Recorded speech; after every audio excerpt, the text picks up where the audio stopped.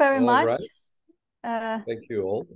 thank you. Uh, thank you very much for these uh, welcoming remarks and the opening speech by uh, Sir Graham Watson.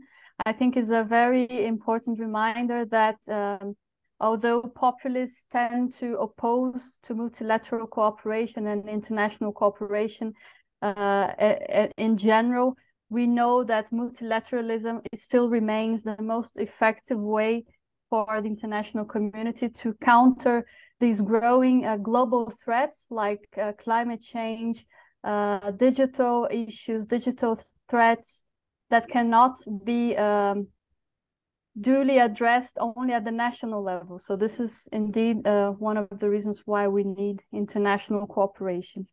So my name is uh, Aline. I work as a policy analyst for international relations with the FEPS Foundation. This is the Foundation for European Progressive Studies based in Brussels. And I'm very happy to participate in the second uh, edition of the symposium. I was very privileged to be there in the first edition presenting uh, my research on populism and uh, the management of the COVID pandemic by populists in power at the time. We had a very um, interesting symposium last time on uh, the future of populism after the pandemic. Uh, so I'm very happy that this initiative is still ongoing, is growing in, in numbers and in relevance and in quality as well. And I would also like to congratulate the ECPS because I mean the, the, the name has Europe on it of the center, but this is really one of the centers that uh, explores populism much beyond Europe. And we can see from the research agendas, the background of the researchers working for the center. Uh, I myself am Brazilian uh, by origin, and I've been working on populism as well. So I think it's very interesting that the, the center has been doing this effort of uh, expanding the agenda, the research agenda, the debates uh, on populism uh, from a, a, more global perspective, also including uh, research studies and perspectives from other regions of the world as well. So thank you for that and congratulations. So let's go to the excellent presentations that we have today. We will have three speakers in this panel entitled Multilateralism, the Past and the Future. And I would like to uh, give the floor first to uh, Professor Mattias Kumm, he is, has a doctorate of judicial sciences from uh, Harvard University, and he is a research professor for global constitutionalism with the WZB Berlin Social Science Center. So, Mr. Uh, Kumm, uh, the floor is yours, and uh, you will have about 20 minutes for your presentation. Thank you very much. The title of my presentation is How International Law Enables Great Power Domination and Great Power Competition and What Can Be Done About It. Um, fundamentally, um, the paper and my talk is concerned with the dynamics uh, which inter international relations has taken uh, in the past uh, decade or so and asks what the structural enabling features of the existing international legal order are that makes this possible. And to get a handle on what is what I think is wrong in present discourse and what the real problem at least also is, uh, I want us to begin uh, with a pretty familiar kind of account, uh, all related uh, to uh, the Russian invasion in Ukraine because I think all the kind of reactions that we see in this context um, are reactions um, that um, once we understand them, um, we can it kind of provides us with the basis for thinking about what is wrong with international law as it currently exists and how it might have to be reformed. So, when Russia illegally invaded uh, the Ukraine in February uh, 2022, uh, the response um, of the large part, the largest part of the international community, more than 142 states effectively signed on to this, said, here is something that is a clear cut violation of international laws, prohibition of the use of force, um, the prohibition to undermine the territorial integrity and political independence uh, of another state. This is, in some, in some sense, a paradigm case um, of what the contemporary international legal order is supposed to prohibit effectively. And this is a clear as clear cut violation as we've seen um, uh, uh, in the past. So, what has the reactions? What are the reactions we can see um, in in the world? Now, on the one hand, there's widespread condemnation, not quite unanimity, but 142 out of 190 something states. That's given uh, political and diplomatic complexities as close to a dominant consensus as you can get. Um, but at the same time, uh, what is striking is uh, that um, what is absent in this debate um, are is any kind of an idea uh, that uh, international law itself um, needs to be changed. So the, the reaction is kind of this is like Britain um, before um, when uh, Germany invaded uh, Poland. Um, Britain wanted to uphold the pre-existing uh, uh, order. It was a basically a status quo-oriented power, um, and just wanted to make sure that Germany had to pay um, for uh, that, that this new actor on the block, this new aggressive um, actor, would be put in place and um, and its expansion and its threat to the international community limited. Now, the interesting thing, and, and if we use this as a historical parallel, was what happened when the United States got involved in this. Um, they, on the one hand, they play the same role as they do today. They become the armory of democracy. So you deliver weapons, you provide support, you organize a coalition, uh, you provide a support for the uh, for uh, against the aggressor. But uh, in 19, from 1940 on, 41 onward, when Roosevelt realized that the United States would eventually actually have to go to war, um, it was clear to him that notwithstanding all the immediate actions that were necessary to support uh, the Allies and the UK in particular against uh, Germany, what you needed to focus on in the mid to long term was to ensure that this type of thing could not happen again, that you needed a massive transformation of the international legal order. And that is, of course, exactly what between 1941 and 1945 um, happened. So by the time World War II ended, um, the UN Charter had already been negotiated, uh, creating a very different framework uh, from what had existed previously. And also, the Bretton Woods agreements had already been uh, agreed to, and the institutions were about to uh, get going. The IMF, the World Bank, um, negotiations for a world trade order were in place. So um, we have a situation where uh, the United States interpreted what was going on in 19, uh, 1939, 1940, 1941, interpreted. Um, um, he did, was not just focused on Germany as the bad actor, even though, of course, Germany was the bad actor, but looked at this as a crisis which was a symptom of a wider deficiency of the existing international legal order. And the question would, was how could it be, how must the world be structured? How must international law be reformed to ensure that this type of thing, which has happened for the second time within a short period from 1914 to 1941, how to make sure, and in both cases, the United States was drawn into the conflict against its will, really didn't really care, didn't want to get involved and, did, and got involved only late um, out of necessity. Um, so, but it, it connected the intervention with the idea of a transformation of international law.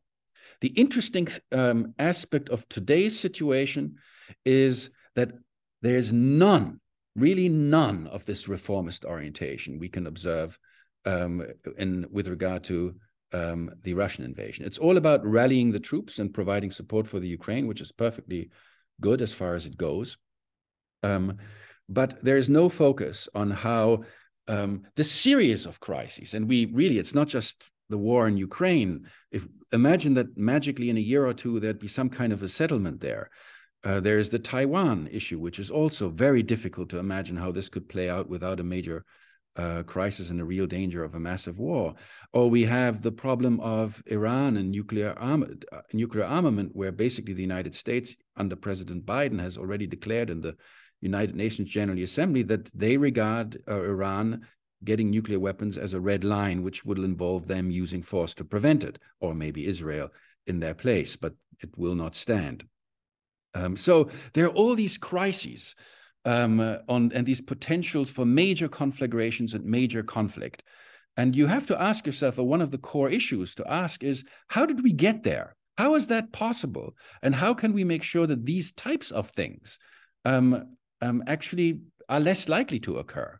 Um, how can international law be structured in a way that uh, it more adequately ensures that the types of situations that now seem to be arising in a you know in a steady pattern um, um, don't arise in a way that uh, that makes it plausible and, and, and carries a real systemic risk of a major great power war uh, potentially involving nuclear weapons.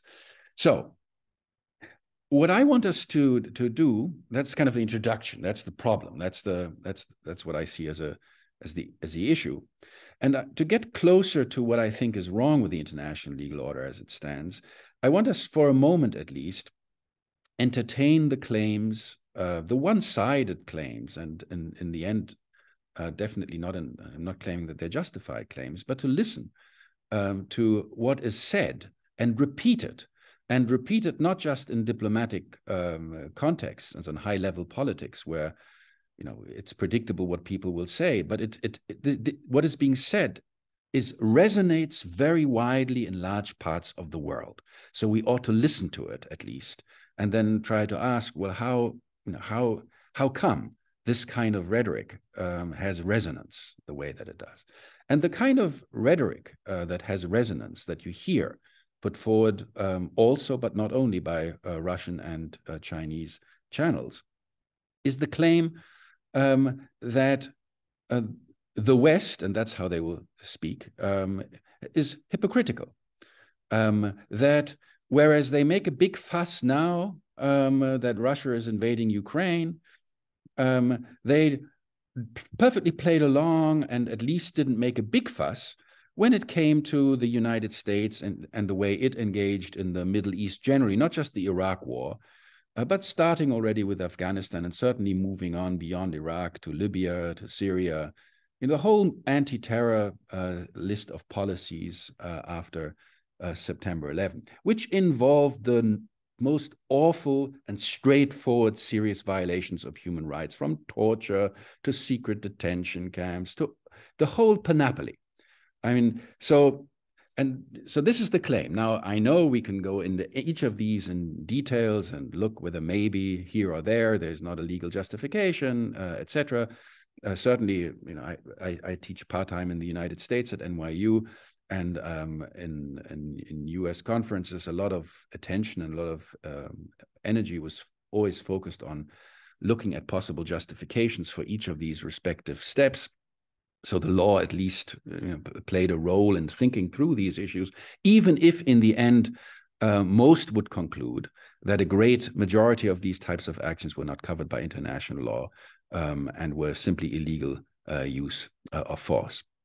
Um, that at least is a widespread perception. I don't think that perception is false, uh, but it is a widespread perception. That's all. I don't care to relitigate the substance of the issues. This is the perception um, uh, and it's very widespread. So there's it's a widespread perception of hypocrisy in that regard. And when the response is, when you hear these stories and you ask, what's the response on the Western side? The answer is always, this is whataboutism. You point, you know, there is something really terrible going on. Russia is invading the Ukraine. Uh, daily, hundreds of people are dying. Um, and you're and you're talking about something that happened, you know, 10 years ago um, uh, and that's this is just irrelevant whataboutism. Um, and at any rate, there is no equivalence because whatever you might say uh, about those actions, um, Vladimir Zelensky is not Saddam Hussein or Assad or the Taliban um, or Gaddafi. Um, uh, instead, we're talking about a leader of uh, a, a, a, troubled, a, an imperfect uh, liberal democracy, but nonetheless um, a liberal democracy. So there is no equivalence. So that's the claim. But of course, if we if our starting point is international law and the prohibition of the use of force, and if what we care about ultimately is the well-being of persons, and we look at the victims of um, the policies of that decade in terms of numbers, we are talking about the same order of magnitude. Um, it is difficult to claim there is no equivalence uh, between the two. So, I, so the right way I think of analyzing this is to we have to embrace the fact that there is equivalence here um, and that that presents a real problem. And whether you agree or not, in the end, that doesn't matter. A wide part of the international community outside of the West agrees with this assessment. And that's a problem. And here's why it's a problem. If you look more closely at who actually is supporting sanctions against Russia, um, and who is actually willing to deliver weapons to the Ukraine or otherwise financially support Ukraine directly.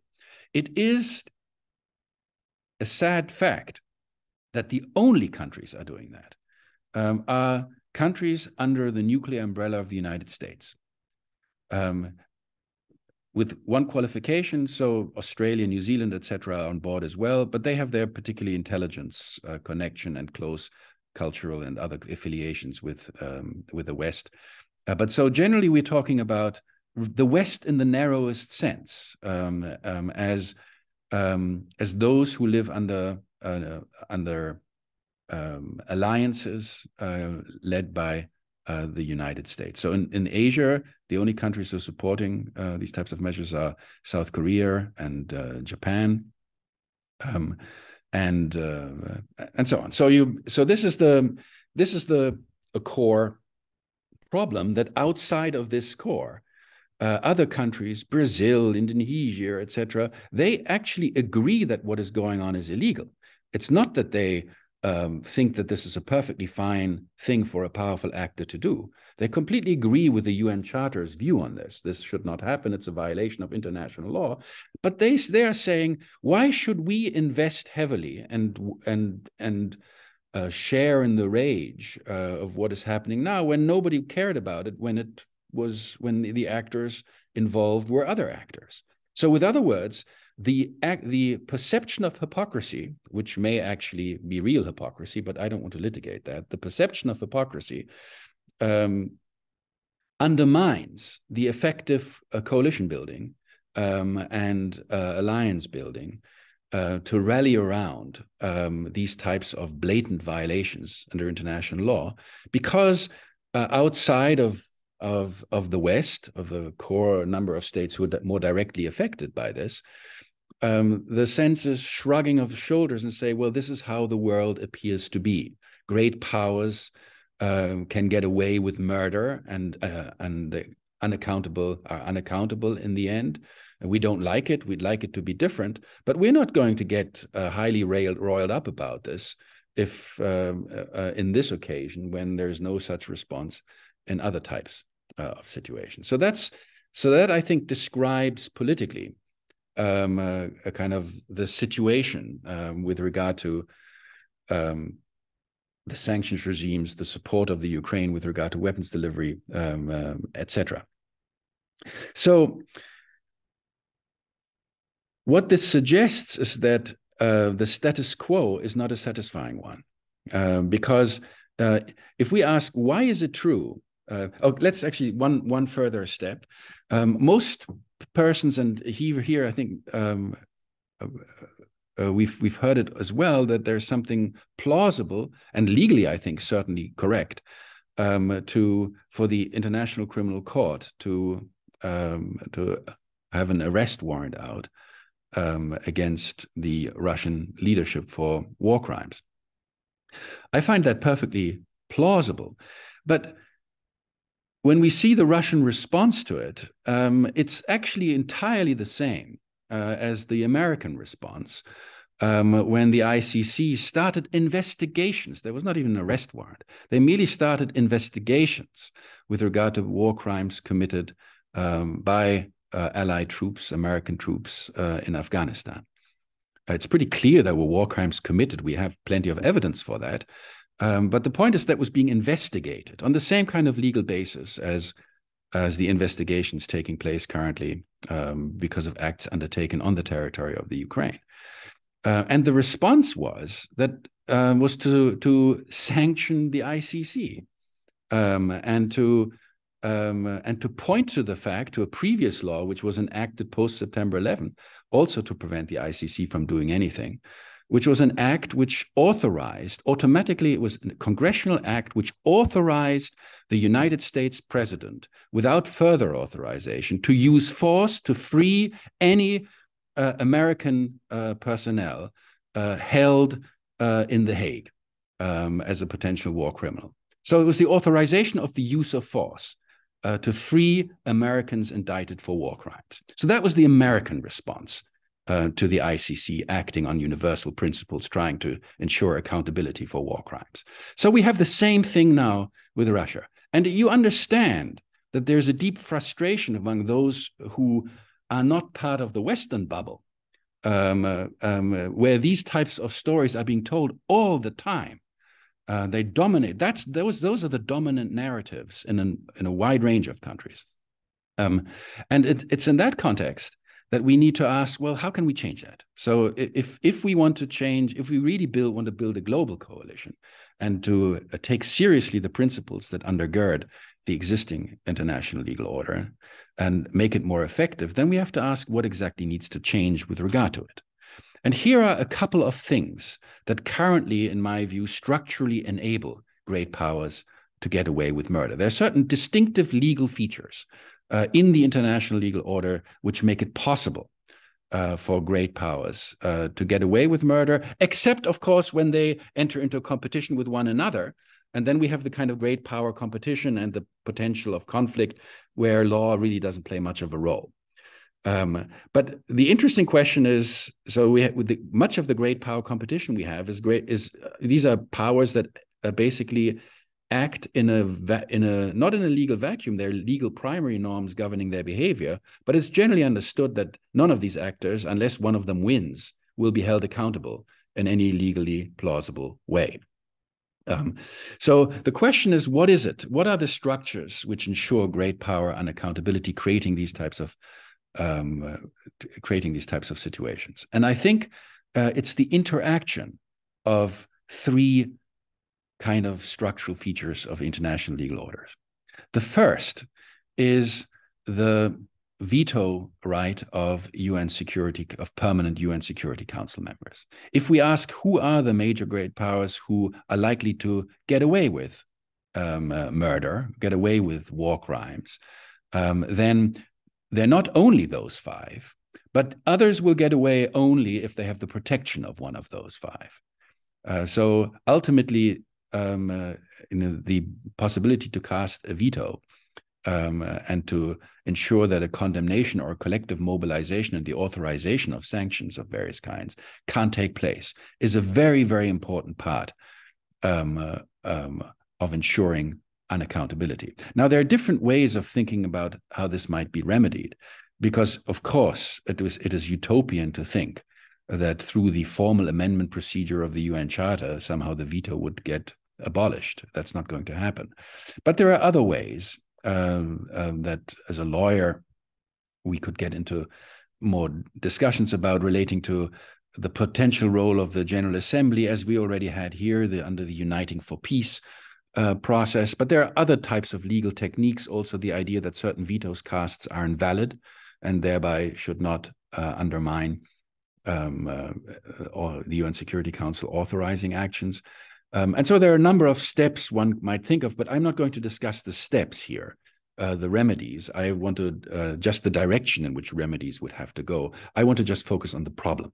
And the problem, first problem, is the existence uh, of the veto. And there are ways to address it through legal interpretation and legal creativity, uh, which does not involve something utopian. The second feature um, that uh, is that enables this unsatisfactory state of affairs uh, is the fact that it's still the case uh, that general judicial accountability that means be, a state that's being violated, that claims that its rights have been violated international, can go to court, to an impartial and independent tribunal, to have it assess whether, whether, whether what is occurring is illegal or not. I think that matters a great deal. Um, um, and it is still the case that uh, such courts in international law only have jurisdiction if there is consent. So a state has to have consent to it. And if we look more closely at the consent practice of the P5, we notice that there were time, there was a time in history when both the United States, uh, Britain, and France had accepted the general uh, jurisdiction of the International Court of Justice. But the United States, after it got condemned for its aggressive war in Nicaragua in, in the 1980s, pulled out. And when the French uh, were called out by the International Court of Justice for engaging in uh, nuclear weapons tests um, uh, in a ways that arguably violated human rights, uh, they too pulled out. That's how great powers respond. They don't like that. They don't want to be called out by a court, so they just withdraw. And under international law, as it's predominantly understood, they have a right to do so. And that leads to a situation that in the United States, say post September 11, you, you, know, there were lawyers making all kinds of claims. I think none of those claims would have had the slightest chance to be accepted by an impartial and independent tribunal. But there was no impartial and independent tribunal in which those who felt their rights to be violated could actually vindicate their claims. And so it was left open. Similarly, of course, with regard to the International Criminal Court. Uh, now, there the situation is a little bit more complicated because, as we've seen in the case of Russia now, and we've seen in the case of Afghanistan when it came to the United States, it is possible to actually um, bring a case against persons who belong to countries um, that have not signed and ratified the ICC if their actions take place on a country that has accepted the jurisdiction of the ICC or, or otherwise um, uh, supports its actions. So that's why we have, even though Russia did not sign and ratify the ICC, that's why it's possible to bring the case that the ICC brings. But notice the there are these cases about it involves children it involves you know these are things that are important and they're terrible violations of of human rights and of what they are war crimes but the real issue of course all of these crimes are direct consequences of the original crime, which was to start a war in the first place, to aggressively invade another country. That's what the, in the Nuremberg trial was called the, the primary crime. Starting the war. Once you have hundreds of thousands of young persons fighting other young persons for their lives on, on, a, on another territory, they're going to be war crimes committed. That's what you might expect. That's what, by the way, we have that, of course, also happening on the Ukrainian side. Um, uh, but still, um, these kinds of things happen once there is a war. And so the real focus, uh, the real crime, the most fundamental crime, uh, is uh, the act of aggression uh, in the first place. And that is an act which you cannot, under current rules, pr um, uh, um, prosecute against uh, a leader of a country that has not signed and ratified um, the ICC. so in this case, it means there's no chance uh, to get Putin for that, which is which of course is the core crime that you would want to get him for. Um, so um, that's the lack of that's the jurisdictional problem we have, uh, both with regard to general courts and with regard to the ICC. And of course, that problem would go away the moment we would have some kind of a rule, which was actually discussed in the context of negotiating the UN Charter, which was that if you join the UN by becoming a member of the UN, you accept the jurisdiction of these kinds of universal institutions. That's just part of, that's one package. Just as you accept the authority of the UN Security Council, you don't know what the UN Security Council is going to do in the future. And yet you accept its authority as a member state, any member state. So you should accept the authority uh, of a general court and the authority of the ICC. Now, again, that's you know, suggesting that may be very plausible and may resonate widely. It's utopian if we try to bring about such a result through a renegotiation of the UN Charter. That won't happen because the P5 won't want that.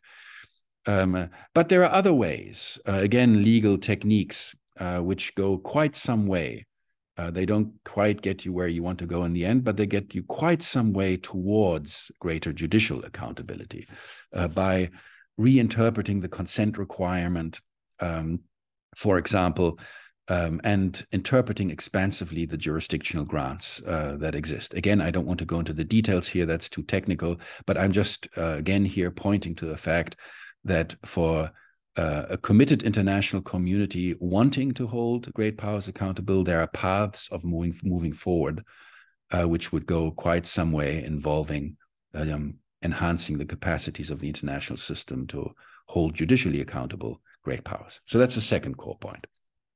UN Security Council, jurisdiction of courts. Finally, uh, there is the issue uh, of nuclear weapons. Um, the current conflicts would be unthinkable in a context where there are no nuclear weapons. So it is often said that nuclear weapons haven't been used since the end of World War II, since July 1945. But of course, that's wrong. Nuclear weapons are perpetually used as a threat uh, in the background, um, as of course has been the case um, in the present with regard to Russia. There, there, there would be no question under that NATO would not have come in and probably dealt with um, the issues through with conventional means relatively quickly. Uh, and Russia would be defeated. Actually, Russia wouldn't have even bothered to try what they were doing if they didn't know that in the end they would always have nuclear weapons as a threat, um, uh, which would preclude NATO from wanting to become a party directly uh, to this conflict because uh, you don't want to get involved in, want to get into a shooting war with nuclear power.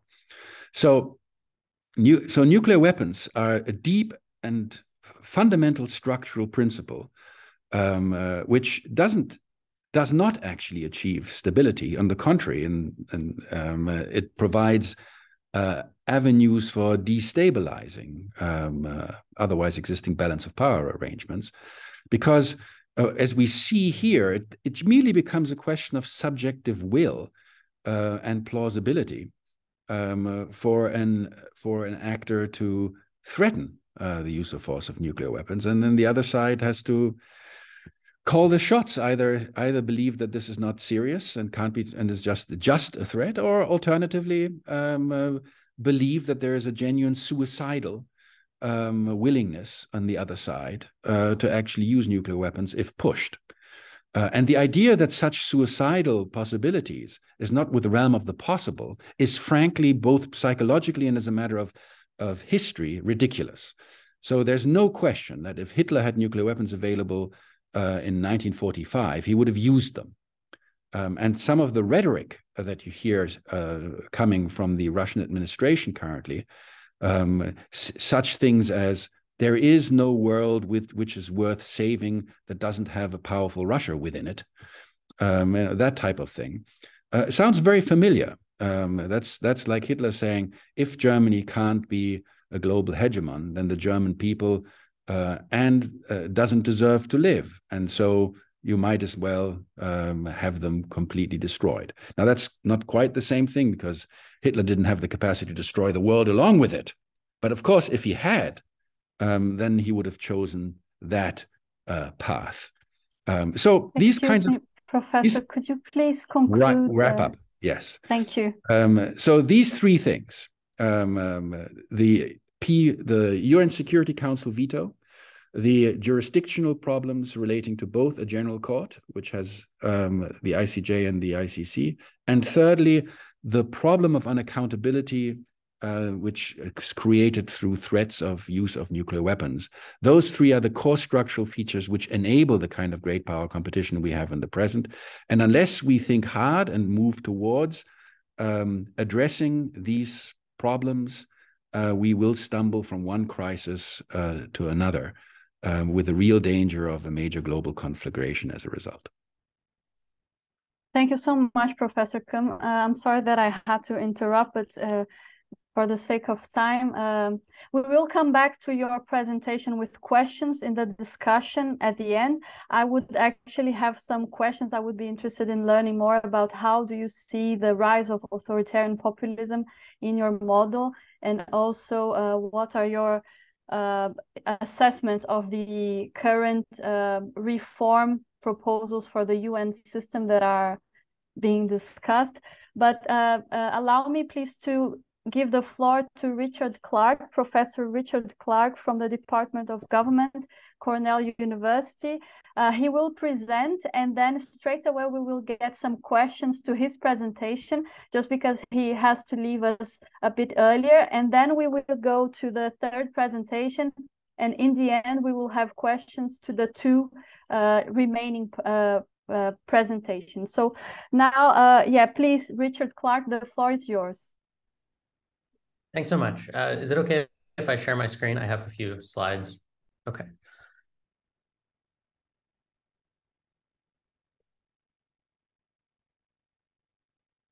Can everyone see that okay? Yes, we can see it. Okay, great. So thank you all so much. It's really exciting to be here uh, talking a little bit about populism and multilateralism today. And thanks to the ECPS team for the invitation and organizing. This is really a great group of speakers and papers and talks. Uh, so I just want to talk a little bit about some of the motivation for me of studying populism. I grew up in Northeast Ohio uh, in the US. Youngstown is the, the city specifically, which is in the heart of the Rust Belt, was a major steel producer. And so I grew up uh, experiencing a lot of this backlash to globalization that sort of sparked resurgent populism in the West, especially backlash to trade. And so I became really interested in how individuals latch on to populist ideology uh, at a fairly young age. Then when I began graduate training, I became interested in international organizations as well. And so this has been a, a neat way for me to sort of bring together two topics that uh, I'm really fascinated by and interested in, in populism and international organizations. So what I'll talk to you a little bit about today is based on a book chapter I'm preparing for the Oxford Handbook on the International Monetary Fund uh, which has to do with regime complexity. So uh, the lot, the sort of lots of donors that exist now in the uh, international finance space, and how populists are confronting this governance complexity. So to start, I'll just outline the question I'm trying to answer with this research, and then uh, one takeaway that you should keep in mind if you remember nothing else from from this talk. So the question is does populism really spell the death knell for international organizations? And I think this is really what a lot of us are interested in today, right? Are populists um, sort of lashing out at these organizations in a way that may cripple them or prevent them from making progress toward their mandates moving forward? More specifically, I'm going to think a little bit about how populists navigate governance complexity. So do they try to take advantage of the fact that there are multiple forums that govern a given issue space? The takeaway is that I don't think it's likely that populists will exit organizations or um, sort of abandon them completely, but rather they'll remain engaged in these organizations in ways that play to their advantages. So they can leverage aspects like regime complexity to avoid the policies that they find to be intrusive or stringent. So we often call this forum shopping. I'll talk a little bit more about what that means in a few slides, or regime shifting. And essentially what this means uh, is that populists are going to select the forums that give them the best deal, right? The least intrusive um, policy package, the one that erodes sovereignty the least. And this enables them to sort of appeal uh, to their base as they engage with international organizations. So as we all know, populism is on the rise. This plot I have here uh, covers the period 1989 to 2017, and it's based on a meta-analysis of over 700 uh, academic articles in uh, political science, economics, sociology, and history. And so basically you can see that the, the blue uh, squares become more common as we move to the right side of the plot. That's why we're here today, right? Is to, to think a little bit about the rise of populism and how it intersects with international cooperation. It's also the case we know that populists often oppose IOs. I won't linger too much here because we've had some nice overviews from the first two speakers on this topic. Um, but populists generally try to pit the pure people against some corrupt elite and that elite can be domestic, right? It can be business people or it can be international.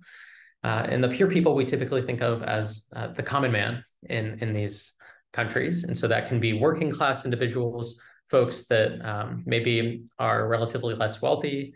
Um, sometimes we think of the middle class in the United States as being a part of this pure people. They're folks that feel like they've been left behind, especially by emerging trends like globalization, international trade, and economic interconnectedness.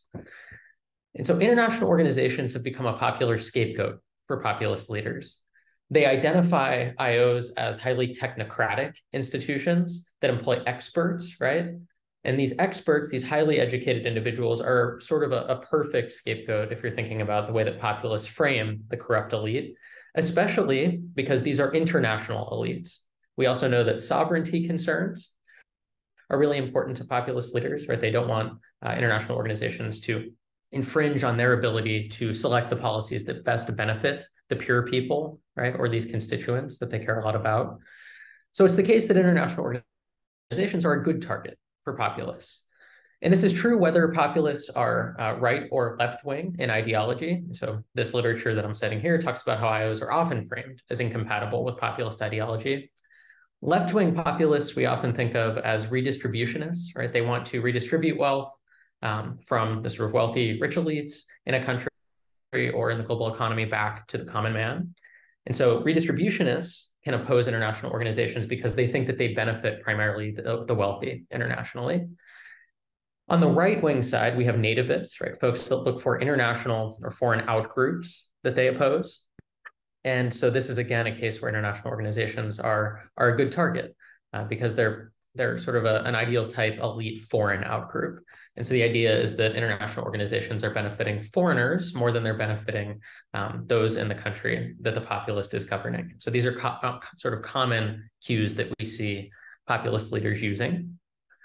But what I'm going to argue here is that populists can actually leverage what I call regime complexity and what the literature talks about as regime complexity. And so uh, a less technical way to describe this is regime complexity is governance by multiple international bodies with overlapping mandates. And so just an example, in the development space, right, the World Bank post Bretton Woods was the only game in town. It was the, the only multilateral forum where you could get concessional financing for things like infrastructure projects. Today, there are 28 international organizations that operate in that space, and they overlap significantly, right? So some countries, for instance, sub-Saharan African countries, are members of as many as a dozen of these multilateral development forums. And so what this means is that countries can forum shop, right? They can choose the forum that they believe gives them best deal or shift their operations from one regime to another in order to try to minimize adjustment costs. And so in much of my research, I think about conditionality, right? The, the policy uh, requirements that are attached to foreign aid, whether emergency loans from uh, IOs like the IMF or development oriented finance from institutions like the World Bank or uh, bilateral donors like the US, Europe, and China. These requirements can be on spending, right? It, it can uh, tell you how you can spend the money to try and prevent corruption. Uh, they can also be on governance features such as democracy and human rights. Those are the conditions that we often think of as particularly intrusive for state sovereignty. They really minimize a country's freedom um, in terms of the, the leader's ability to uh, implement the policies that they may want to implement in order to retain power. And so autocratic regimes, populist regimes, um, or a combination of the two are often extremely hesitant to take on aid with these conditions. Um, prior to uh, a more complex world that we're in today, they didn't have many options, right? They couldn't select the least costly forum among some menu of uh, financiers. And, and today now they're able to leverage this and, and sort of select the forum that minimizes these adjustment costs. I also have work showing that countries can generate bargaining leverage by threatening to shop in this way. So, focusing on the International Monetary Fund, I show that countries that belong to uh, regional financing arrangements, so these are smaller IMF like institutions. The Latin American Reserve Fund is one, the Eurasian Fund for Stabilization and Development uh, is another. We can also think about the European uh, stability mechanism, some of these European monetary institutions as regional financing arrangements. Uh, China has sponsored two of these institutions, the Chiang Mai Initiative uh, and the Contingent Reserve Arrangement, which is a BRICS um, institution. In each of these cases, access to some of these forums enables a country to go to the IMF and credibly threaten to substitute away, right? To be able to subset some amount of the money that they would otherwise take from the IMF. And in doing so, they can bargain down fewer of these conditions that threaten sovereignty. And so I think there are strong theoretical reasons to believe that populists should be especially likely to do this. Right? They should really want to avoid these adjustment costs that uh, erode sovereignty. They should want to distance themselves from international organizations rather than negotiate with them in these ways, because negotiations on uh, loan programs in particular is where I focus most of my research. These are highly public negotiations, right? They can incite protests, as we've seen in countries like Argentina, Sri Lanka, Tunisia in recent years. And so avoiding these relationship costs, especially given the rhetorical benefits that populists can realize by scapegoating these organizations or targeting them as sort of outgroup elite institutions, I would just expect them to try to uh, leverage institutions that they can sell as having give them, given them the best deal or the one that gave them the most flexibility over policymaking in their country. I'm going to focus the rest of my talk on the International Monetary Fund, as I sort of foreshadowed. The IMF is a, sort of an ideal type institution for populists to lash out at or target uh, because it's a highly technocratic, highly bureaucratic and expert institution. Most of the staff have advanced degrees in economics and in a very liberal um, ideology form of economics, right? Neoliberal ideology, trying to advance uh, core tenets of the liberal international order, um, that the US and Europe tend to advance things like economic liberalization, privatization, right, minimizing the size of the public sector, fiscal austerity, um, and trying to eliminate things like tax loopholes that are often prevalent in the countries that suffer from balance of payments crises. As I highlighted previously, the IMF imposes extremely stringent conditions on countries under loan programs. They will mandate that state-owned enterprises be privatized, that wages be cut in that sector, in the short term, uh, you expect unemployment to go up. You expect the currency to devalue, things that cause short-term adjustment costs that can uh, be politically really consequential and even costs cost leaders, populist or not, um, their jobs in, in democratic countries. The IMF also deploys bureaucrats to conduct routine surveillance, and, and this has become politicized in some populist countries as well, including Hungary, uh, because when IMF officials land in a country, the media will cover it, and it's it's the case that countries will try to distance themselves from these bureaucrats that are perceived to be snooping around the economy and then making policy recommendations. And so I've done a little bit of work on the surveillance side as well. The IMF, just an example for you is Viktor Orban, who said uh, prominently, we sent the muzzle back to Brussels and the leash back to the IMF, highlighting here in, in rhetoric during campaign speeches that it's really important to distance yourself from these international organizations as sort of a populist um, leader. So what I'll show you here is a little bit of evidence that populists are trying to distance themselves from the IMF, and then I'll show you some additional uh, empirics that show specifically that they're uh, able to generate leverage to try and reduce some of this conditionality. So here I have a plot that just shows you the probability of a country showing up in an IMF program in the post-1990 period. Non-populist countries have about a 10% chance of entering an IMF program, all else equal, in a given year. Populist country is closer to 7%, so that difference is statistically significant. Um, and then I have some advanced empirics in the book chapter that I won't show today just for simplicity and time that show that controlling for all sorts of economic factors that otherwise would cause countries to enter into IMF programs, um, populists are especially likely to avoid these programs when they have outside options. So when they belong to institutions like the regional financing arrangements that I discussed previously, right? These institutions that can offer emergency financing without strings attached. I also have evidence showing that when countries receive more uh, loans from China, they're less they're they're less likely to enter these IMF programs. And uh, just over the last few weeks, there have been a number of articles in the New York Times, Financial Times, and elsewhere highlighting how China is now coming, um, sort of emerging as an IMF competitor, right? Offering emergency financing and bailouts uh, on the scale of IMF programs that is allowing some of their client states that have become tightly connected to them through BRI uh, to actually avoid IMF financing and the conditions that come with it. And then here, uh, this comes from a regression with a bunch of controls uh, the dependent variable being the number of conditions that uh, appear in IMF programs. And populist leaders, I find, are actually able to bargain fewer conditions. And so the, the effect here is about, it's pretty close to a 20% reduction in the number of conditions that you receive in a program if you move from a non-populist to a populist leader within a given country. So these models have country fixed effects, year fixed effects, as well as a, a cohort of economic, political, and geopolitical control variables. And so what this tells us is that all else equal, populist leaders appear to be able to derive some leverage from their position as anti-elite, as anti-IO, right? They can credibly threaten to uh, shop away from institutions like the IMF, these big global institutions that have um, very strict policy goals and try to impose conditions or policy requirements on these countries. So populists can credibly threaten to exit, especially when they have these outside options, China, regional financing arrangements, and so while they're going to remain engaged with the International Monetary Fund, right, they're not leaving the institution per se. They still have um, representatives that meet behind the scenes in board meetings. They're casting votes. They're paying their dues right? They're they're sort of being good citizens, you could argue, of these institutions. They can uh, utilize a combination of rhetorical bashing, right, of the institution to try and sell to constituents that they're distancing themselves from these organizations, as well as um, close bargaining and forum shopping to minimize the adjustment costs of participation in ways that allow them to sell their participation to the public. So just to wrap up here, and then I'm really looking forward to your questions and comments. Uh, populists engage with international organizations despite hostile rhetoric to the contrary, but they leverage regime complexity to minimize the costs of doing so.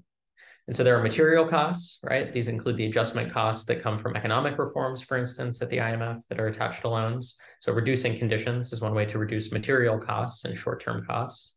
But they're also trying to minimize audience costs or an inconsistency between this rhetorical bashing of international organizations and the practical engagement that they undertake with these organizations. So by trying to sell the fact that they got a good deal or by shopping away to these less stringent forums, they can minimize inconsistency between words and deeds and sell that to the public as such.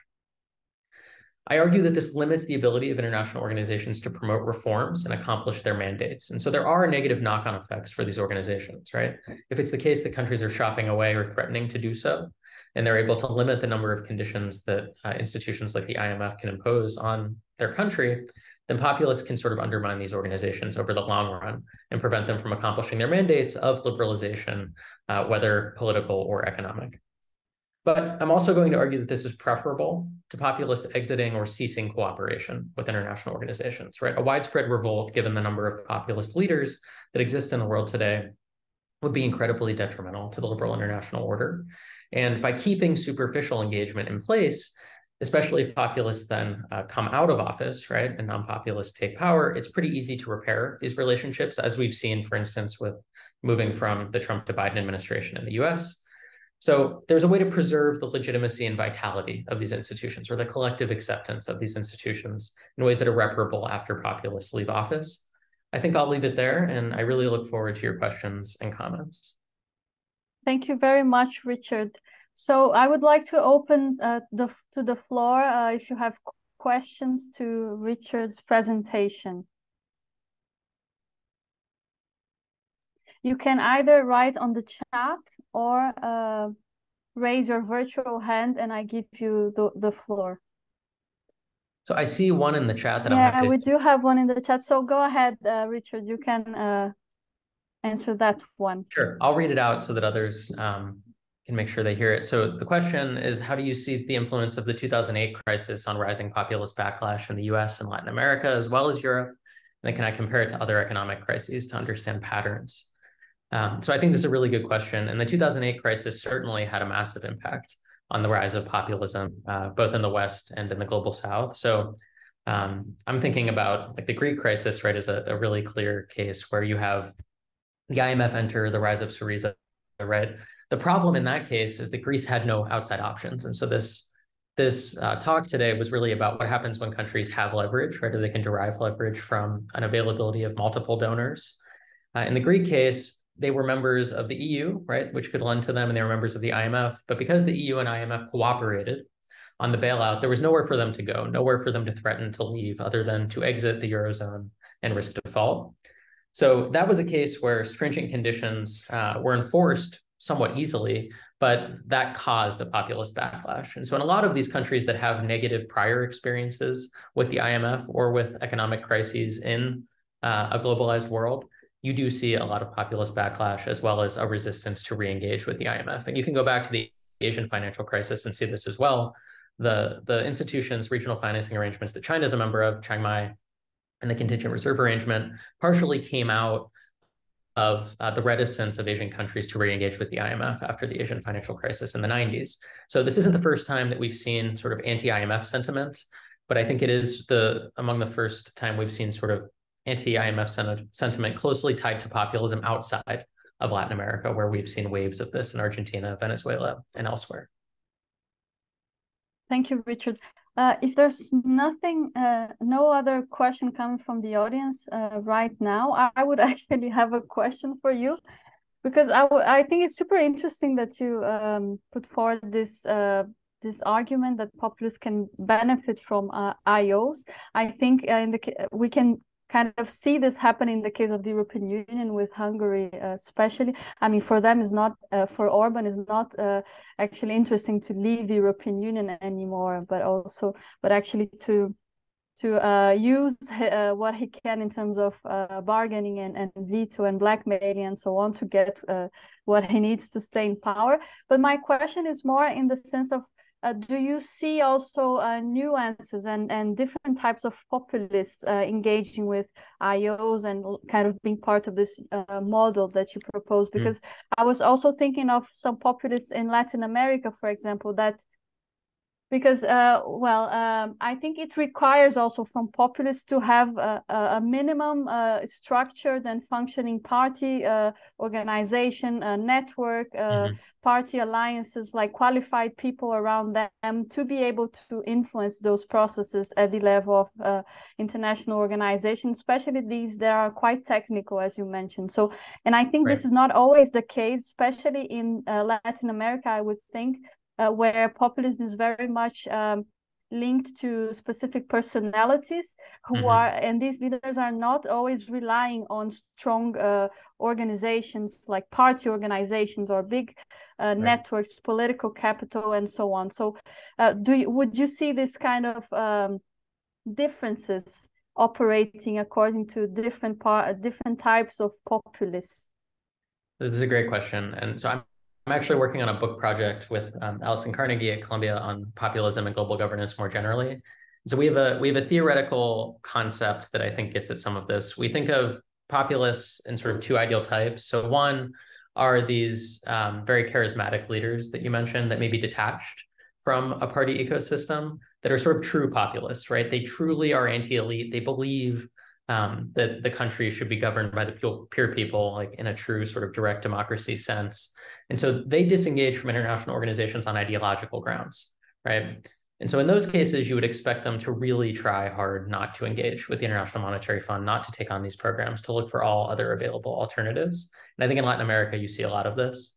Um, in Europe, these would be some of the parties maybe that are more flash in the pan, right? The ones that rise to power and then sink back to, you know, single digit vote shares in the next parliamentary cycle, which we've seen in Greece and elsewhere. The alternative is what we could call like instrumental or pseudo populists. And so those are going to be individuals who are tied to existing party infrastructure, who sort of try to claim populist ideology uh, because they're performing or, or because they think they can gain vote share from doing so. But they're not sort of ideologically opposed to engaging with these organizations to realize benefits from cooperation, right? Such as economic aid. So in that case, I think you, there's more room for some of this engagement, like what you see Orban doing, and then rhetorical trying to sell how they're engaging in ways that benefit people. Um, and so I, I, think drawing that distinction helps to get at some of these tensions that you're interested in. Uh, Ibrahim Thank actually sent much. me a question yeah, uh, separately. Uh, I okay. Go ahead, because we actually we also have a question yep. uh, on the chat. Can yeah, you see? Uh, do do you have time to ask you a, a very short question, uh, Clark? Yeah, yeah, I can take it. Uh, yeah, uh, you mentioned that by ignoring uh, or undermining the effective functioning of international organizations, populist uh, leaders are also undermining current multilateral order in that regard, can we say that uh, intentionally or unintentionally, directly or indirectly, they are also helping current authoritarian big powers to take the lead uh, uh, within the context of current power transition?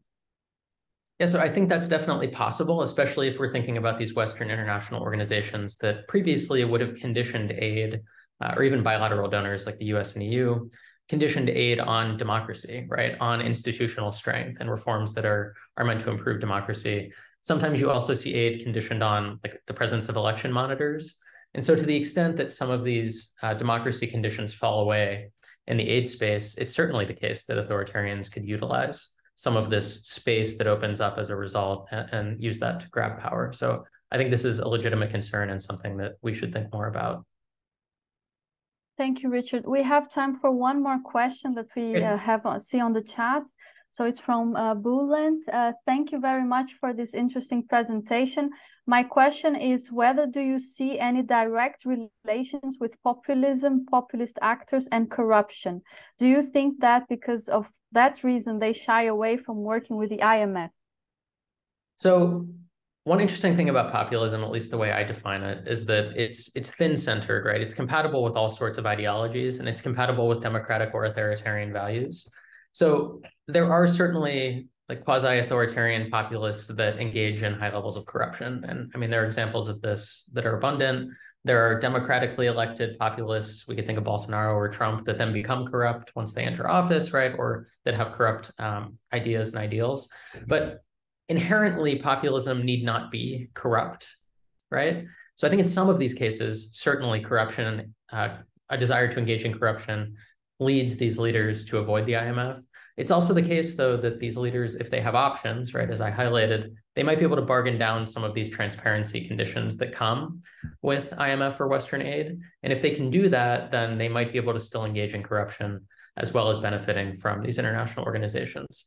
So I think it sort of depends on the specific context you're looking at, but yes, this is this is a valid concern, certainly. And also just I wanted to thank you all for the time and the questions. This was a fascinating discussion, and I look forward to participating in some of the other sessions later today tomorrow. Thank you very much, Richard. Thank and you. thank you for the questions indeed. Uh, so I would like now to uh, call uh, and give the floor to uh, Professor uh, Werner Pascha.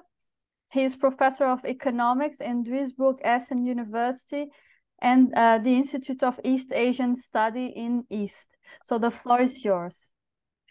Thank you very much, Aline, and um, thanks also for having me to the organizers. Um, I hope you can see my chart. Is it already on?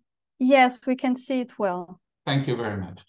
Okay, so actually my talk is, is quite compatible with what uh, Richard just talked about. Uh, basically, I would like to talk about the connection of um, minilateralism that we watch uh, on the global scene, but also particularly in the Indo-Pacific in recent years, and uh, populism.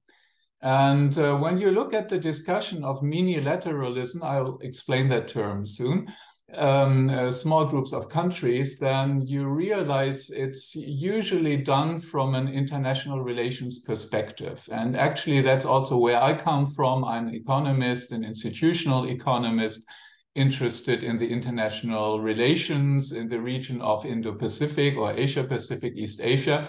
And I was wondering um, that there is rather little uh, talk about the domestic political uh, background of, of this development. And now, obviously, Richard uh, Clark does not belong there. He does discusses this uh, domestic political background, and there are certainly a couple of others.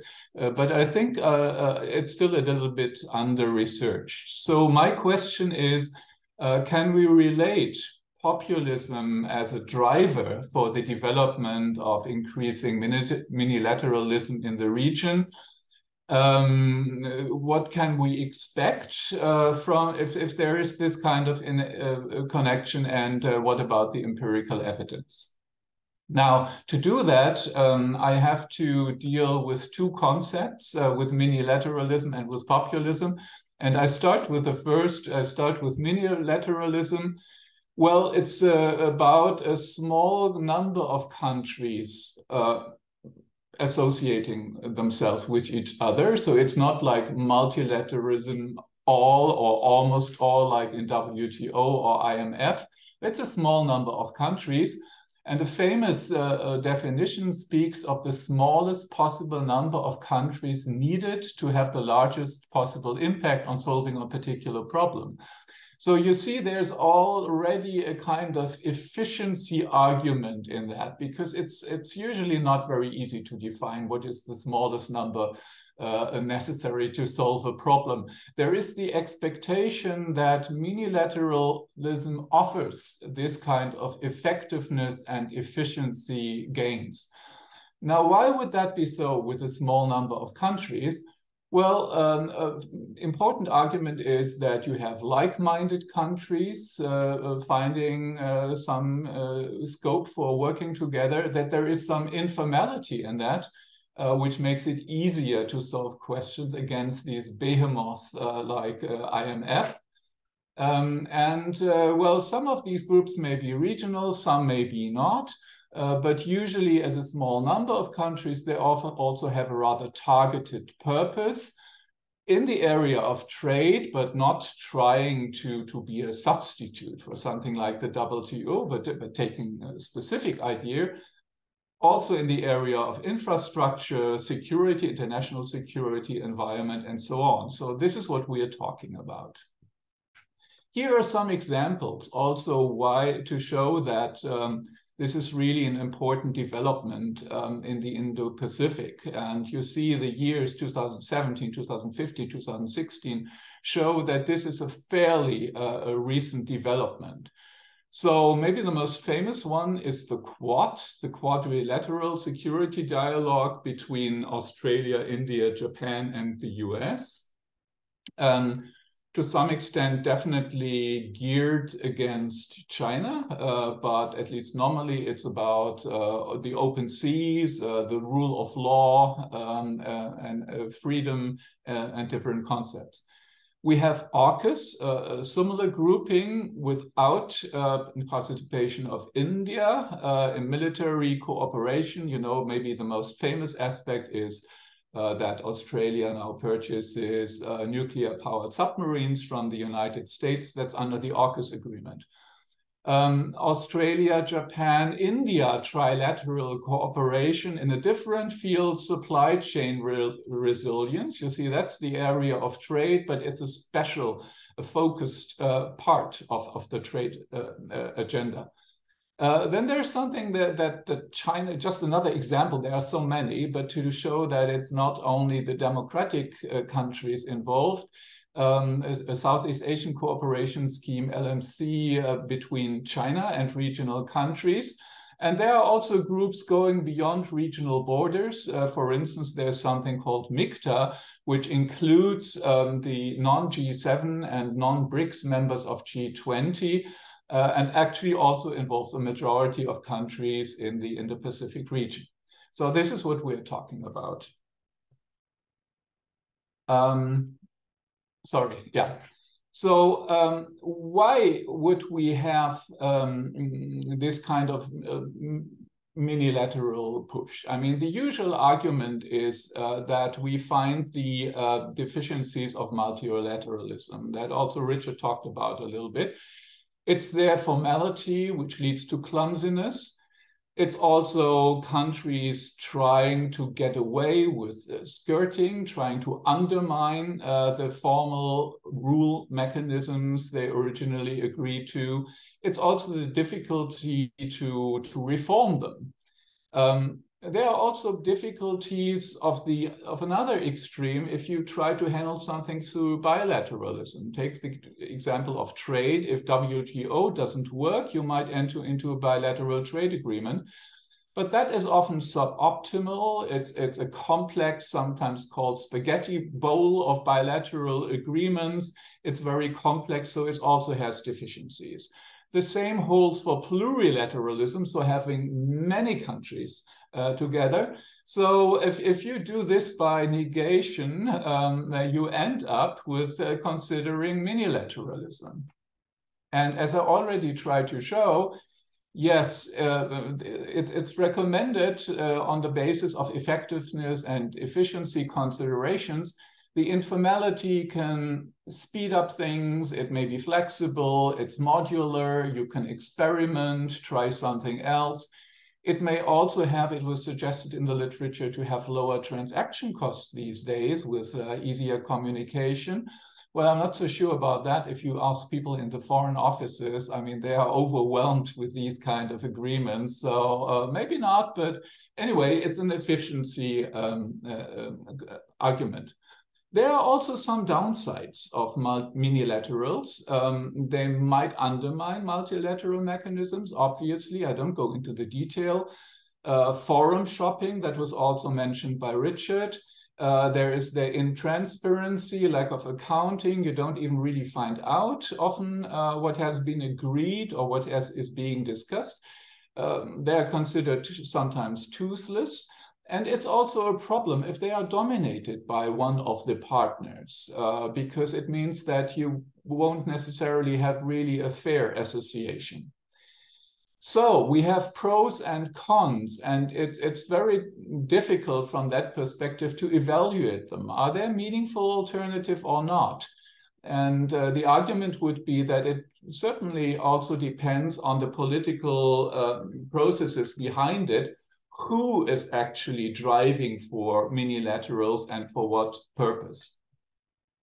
And that leads me to consider well, is it populist uh, governments uh, that have a, a, rather strong interest in them? Because i mean there is this at least this conspicuous uh, similarity of the time right? Populism rising um, and uh, minilaterals rising at the same time now, um, I mean, I have the problem when I'm talking about countries in the Indo-Pacific, or it, it, it, may be similar in other regions, um, regions to say what is actually a populist government or what is a populist party. And we know there are different understandings, um, populism as an ideology, as a strategy, as a communication style, or what um, economists would usually prefer, you know, looking at the policies uh, with right-wing policies like nationalism, uh, anti-tax stands, or left-wing uh, populism, uh, focus on, on governance spending and so on. Um, so uh, please keep that in mind uh, to because I need this for the empirical evidence later on. Now, uh, to draw a connection uh, between populism and minilateralism, I, I, I need to discuss uh, why uh, populism comes about. Is it is it related to something going on um, in the economic sphere of international relation? And of course, that that is a rather naive question because we probably all know uh, that yes, uh, there is a connection. There is the economic globalization uh, with rising inequalities, uh, which existing multilateral schemes uh, seem have difficulties to, to handle. Um, not only inequalities, but inequalities concentrated with respect to certain characteristics like low skilled workers, certain regions, and so on, making things even tougher. Uh, we have the crisis that were also mentioned in a question uh, we just had. We had migration, refugees that are also related uh, to this.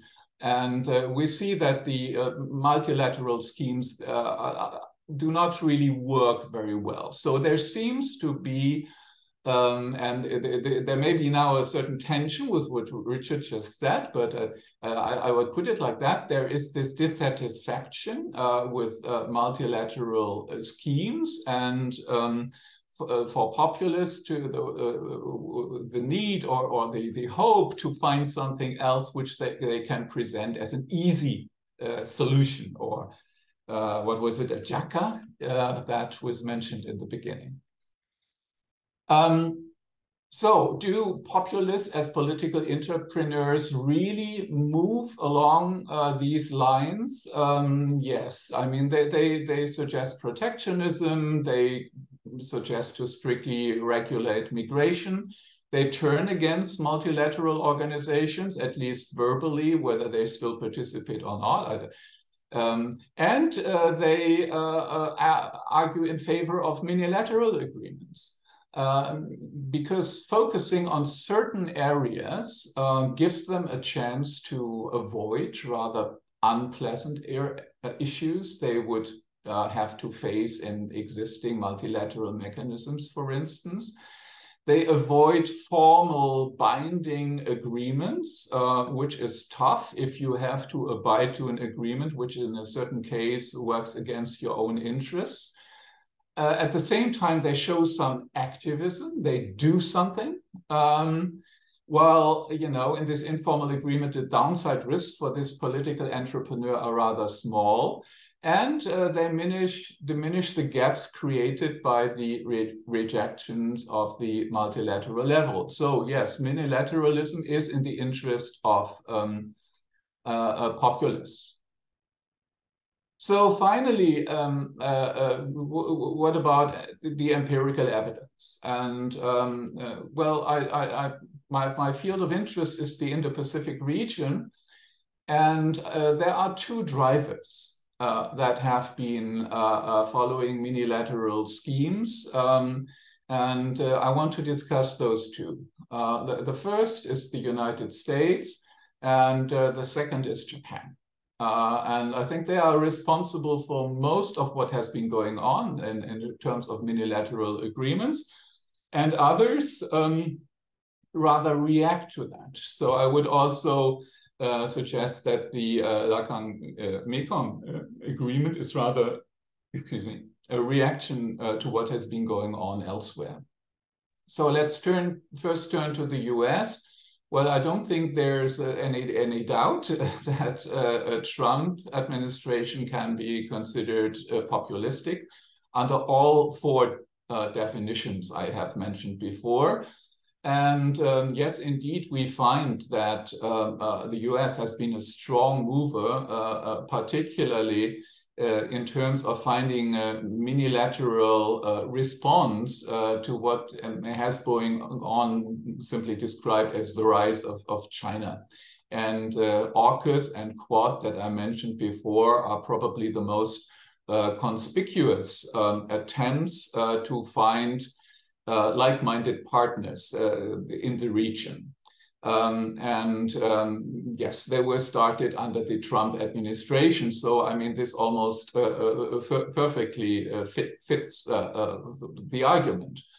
Um, it, it, is related to a rejection of multilateral mechanisms. Um, if, if you uh, look at some of the documents, I mean, it, it clear it's clearly argued that um, uh, existing uh, multilateral schemes or, or, or uh, what has in beginning been called maybe the international rule of law that, that does not does not work properly.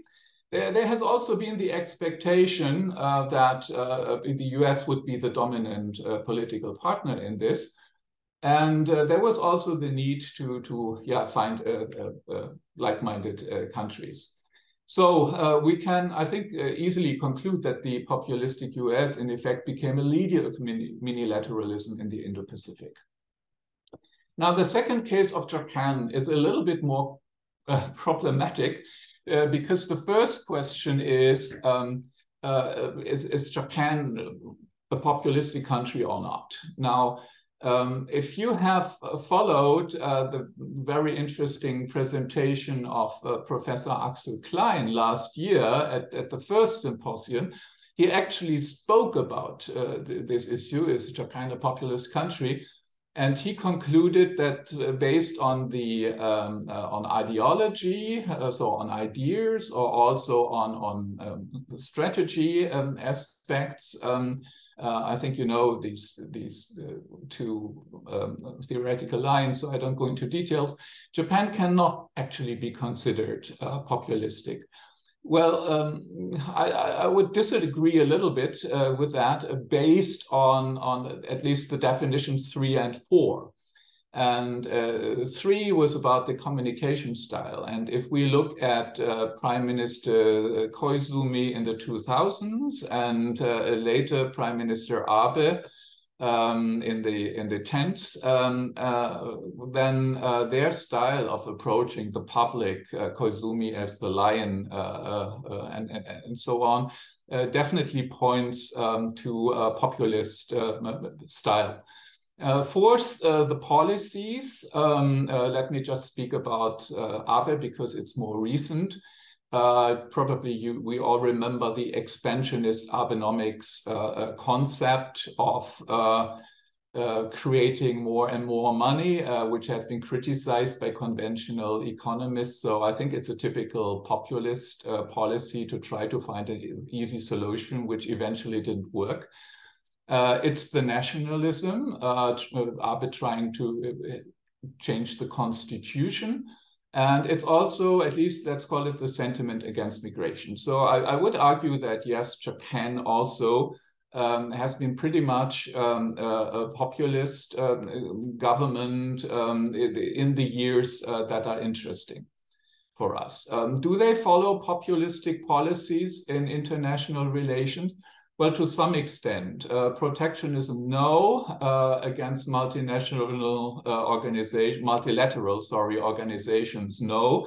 Uh, but against migration, yes, and definitely also following um, the idea of minilaterals. So, I mean, it, it's not a simple answer, um, but I think we, we might want to argue that uh, Japan is not protectionist and against multilateral organization because actually the downside of, of uh, the globalization effect in, in terms of distributional problems has not been that tough uh, for Japan. Still, uh, there are other issues. Um, uh, for instance, uh, finding something against um, uh, the, the, the, Chinese rise. And um, we might even say that in that respect, Japan has been uh, even an earlier uh, proposer of unilateral schemes um, in, in the region than uh, uh the US. Uh, let me just remind you of a famous speech by Abe before the Indian parliament in 2007, in which he proposed something like the Quad. Well, um, at, at, this stage, let me uh, reach my conclusion. So in order to have some time for the discussion. Um, what I hope, um, uh, I think what is obvious is that we see the uh, co-evolution of minilateralism and populism, which is striking. Um, I mean, I, I, realize there are difficulties to clearly define what is a minilateral agreement, uh, also what is populism. Uh, for instance, I noticed the chart we, that Richard Clark just presented in the case of Japan is, is both different from what Axel Klein said last year, and it's different from what I said right now. So it's not so easy to work on this in a quantitative manner. But anyway, I think we have this uh, co-evolution. Um, and I think uh, I, I, could also show that it is related, um, the, the rise of minilateralism related to domestic political effects, and that it is something that populists um, would try to propose if they are strong enough to propose a minilateral scale. Not all countries can do that um, for, for certain uh, reasons as an entrepreneur. Um, finally, um, what does this lead to? And, and here I'm most speculative, and this is just uh, conjecture. Um, uh, because uh, as, as I argued in the, in the beginning, well, it's not quite clear whether the pro or the cons effects of uh, minilateralism are more striking. Now, if indeed uh, populism plays a role to bring it about, uh, then one should be a little bit probably pessimistic or not too easy easily buy the arguments that minilaterals are particularly uh, effective. But that is a, just a conjecture uh, open to further investigation. Thank you very much. Thank you very much, uh, Professor Pascha. So I will open immediately the floor to questions. We already have one on the chat that I understand is for both speakers. I will read it out loud and I will um, also add one question that I, I have for uh, Professor Kumm as well. But uh, feel free to yeah to raise your hands and write new questions on the chat. We have uh, 10 minutes for the discussion. So uh, the question that we have from, uh, in the chat is, thank you for sharing your experiences and ideas. My question is, how can we protect the elites of nations against the populist leaders and their threats? And this, I, I think it goes to both uh, speakers. And before giving the floor to Professor Kumm, I would like also to hear from you. What, uh, how do you think that the rise of uh, populist authoritarian leaders affects uh, your thesis that uh, international law is an enabler of um, great power competition and dominance? Does it, uh, it, does it make it even stronger, or does it um, could it be a, way to change the status quo? So uh, let's get the question by, by Ibrahim first, and then I get back to our speakers for the answers. So thank you very much. Uh, I have two questions. Uh, the first question goes to Professor Kumm. Uh, I guess not only me, but also all our audiences are wondering how Professor Kumm would uh, clarify his three points, uh, which he underlined as the main problems in terms of multilateralism right now. What might be his uh, uh, uh, viable solutions alternative to because he couldn't find time to focus on those uh, points. Uh, my second question goes to uh, professor Pascha Uh, uh, professor Pascha you uh, you might be interested in india. I believe india has a very special position in indo-pacific region nowadays. On the one hand india is part of BRIC countries. On the other hand, uh, India is a member of Shanghai uh, Security Organization. On the other hand, India is uh, in strategic partnership somehow with the United States of America and uh, moving away from China somehow in terms of economic competition, geopolitical competition, etc. But on the other hand, America tries to get involved in uh, those minilateral uh, regional organizations in Asia, uh, supporting uh, the position of India. Uh, but on the other hand, we have a really uh, very strong authoritarian Modi governments. So there are mm, several elements which are not in harmony. in the case of India, uh, do we have a sustainable uh, uh, position in terms of India's rising power in the region? Thank you very much. Thank you, Ibrahim. I'll get, uh, yeah, let's get back to Professor Kumm for his comments and answers to the questions. Yes, thank you. Thank you very much. Um, I'll start with uh, with uh, Aline's question about uh, how populist authoritarianism, how it comes into enabling or playing a role in um, in the kind of great power competition that I've described and the dynamics that international law enables. Um, put it this way, I think the kinds of crisis that we are currently seeing, um, which is a crisis that occurs when we move from a structure where one actor had de facto hegemony um, uh, to one where there are others who are starting to compete and assert themselves is a world in which in which liberal constitutional democracy is uh, losing its hegemonic status. So it's not it's difficult to imagine having this type of process in a world of liberal democratic unchallenged hegemony um, uh, now, the question is how is populist authoritarianism connected to undermining that liberal democratic hegemony? And my answer to that is that it plays a role.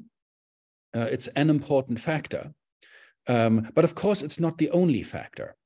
Um, uh, and there, China's rise, uh, the rise of an autocratic system, which is believed in many by many to have been at least successful to raise the level of, of living and standard of living of hundreds of millions without democracy. Um, the same with regard to the Gulf regions, where absolutist monarchs effectively uh, have brought about transformational change um, and modernist um, nation building projects uh, that uh, people in the West like to travel to to spend their holidays uh, in. Uh, in. Uh, so there's the there are these phenomena, these alternatives that appear to be working and that appear to be attractive compared to the liberal world, which, which with regard to its public policies, uh, has been not particularly successful, stumbling from one crisis uh, to the next, um, and uh, not delivering, uh, not doing very well to deliver for uh, its population. So I think uh, it's it's the lack of performance of liberal democracy is connected to the rise of all kinds of challenges, but those challenges also have something to do with the relative success of these other uh, alternatives. And that creates a space for populist authoritarianism. Okay. Um, now, I can't, uh, the question that uh, uh Professor Ozturk uh, asked is, I can't answer that now. I can't I tell you what exactly the subtle strategies might be to address each of the three um, uh, problems that I've addressed, except saying, you know, there are lawyers and there are people and think tanks who have developed all kinds of ideas with regard to each one of them.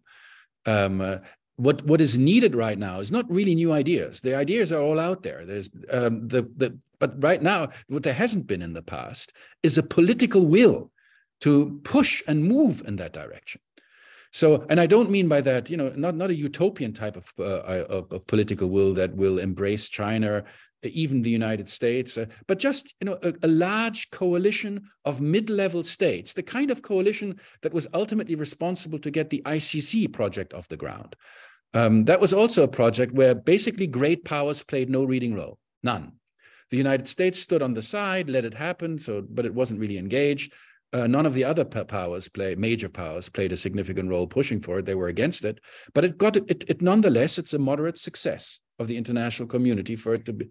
So I'm thinking of that type of coalition, um, a coalition of international civil society uh, in conjunction with a wide range of um, of of uh, of states that would embrace this type of multilaterally focused universalist liberal democratic reform. I think that those are that's about the so so with other words i'm now focusing on the political enabling conditions uh, for such uh, a movement to be successful if you have that i think the techniques and the legal mechanisms that are available would get quite some way uh, to address this issue Thank you, Professor Kumm. Uh, so let's move with uh, Professor Pascha for his uh, remarks and comments to the questions, please.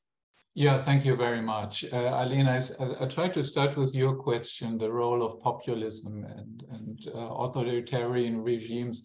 Well, I think the, the underlying factors are uh, that we are living in this kind of post-hegemonic uh, age now, which also uh, Professor Kumm pointed out. I, I, think that this is an overarching uh, factor. And uh, the second one is that we see that we have uh, reached uh, limits to, to economic globalization that created problems also within countries. I mean, we see these distributional issues uh, all over the world. I mean, parallel to the rise in per, per capita income rises uh, uh, all over the world across nations, but within nations we have this these enormous problems uh, also related to environmental issues. So I think those are the overreaching um, uh, meta factors. Um, so in, in, that respect, I see the the uh, rise of authoritarian or populist regimes rather as a symptom and, and, and not really as, as, as a cause to it.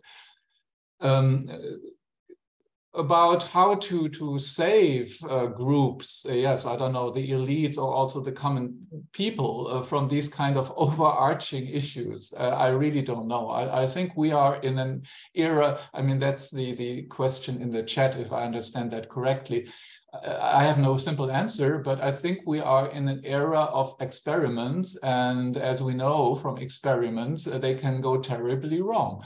Uh, it's it's just a very dangerous uh, uh, period uh, uh, we are living it, and and countries are struggling various ways. Now, this leads me also to the question of uh, Professor Öztürk about the role of India. well, first of all, I think it, it, it fits my story, I'm glad to say. Um, because yes, I agree, it, it's to some extent authoritarian, populistic uh, uh, government under Modi. I think we, we, we can say that.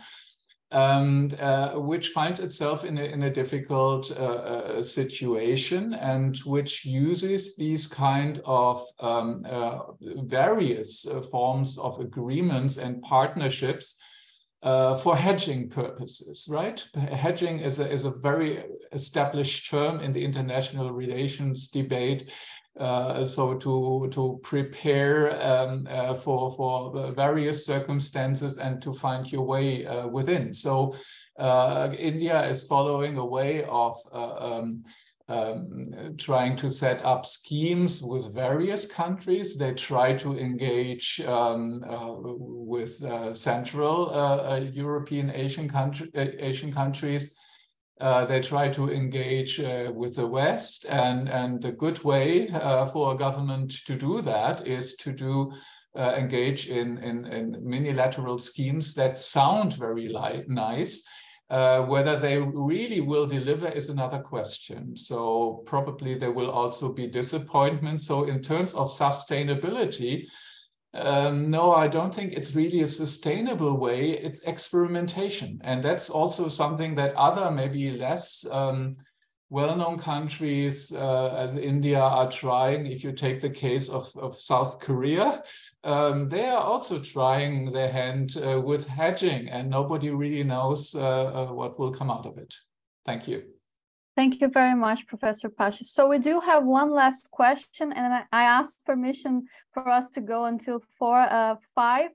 So uh, we have a question for Professor Kumm in the chat, and the question is, how do you think the feature of hypocrisy is being manipulated by the populist leaders? So if you can uh, let us know your thoughts on that in one minute, that, would be great. Professor Kumm. Yeah, this is the great problem with hypocrisy, because um, one response to hypocrisy is to say we have got to do better, um, and then realize the principles that we have claimed um, to be committed to, to make that real. Um, that's one response to hypocrisy. That's kind of the internal reform-oriented response. But what how hypocrisy operates politically is often that it seems to legitimate um, well, it, it, seems to discredit the very principles which have been hypocritically violated in the eyes of others. Um, it discredits them, and the result will be to look for something else. Um, and um, and this something else um, is pop in within the demo, liberal democratic world, traditional liberal democratic world, where you know there's not one communist party that's calling the shots, and it's not going to be easy to establish straightforward dictatorships of any kind. Then you have populist authoritarianism mm, as an illiberal response, as an illiberal alternative to established patterns of liberal democracy. So I think the phenomenon of hypocrisy and the rise of populist authoritarianism uh, or the rise of alternative ideologies are deeply connected, even though it's not a necessary response to hypocrisy. As I said, one possible response to hypocrisy, it's the one that I'm trying to accentuate and promote, is to engage in the types of reforms which uh, make uh, the principles which we claim, which are claimed by uh, actors uh, that they're committed to, to make them actually to to stop with the hypocrisy and stop um, and actually institutionalize mechanisms which ensure accountability and ensure compliance uh, with these very principles. Thank you so much, Professor Kumm. So on that uh, great note, I think we can end this uh, first panel. And I thank you very much for the presentations and the interesting questions. I think one takeaway is that um, we cannot understand the changes in multilateralism only from the optic of populism. This is one of the factors affecting uh, the changes in the global order. And uh, we cannot uh, simply understand populism as something that is black and black and white uh, against any type of international cooperation. So they, they can also uh, leverage international organizations and international cooperation for their own benefit. Thank you so much.